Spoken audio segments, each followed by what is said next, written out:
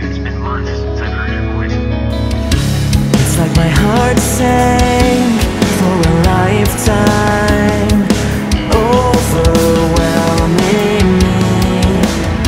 The very second I.